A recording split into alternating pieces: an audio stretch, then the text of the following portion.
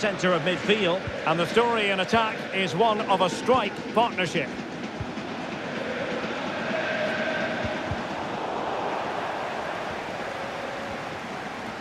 Now what can Paris Saint-Germain do from this position? Well, the fans want to see a shot. There it is! The opening goal of this match. And what a start they've made.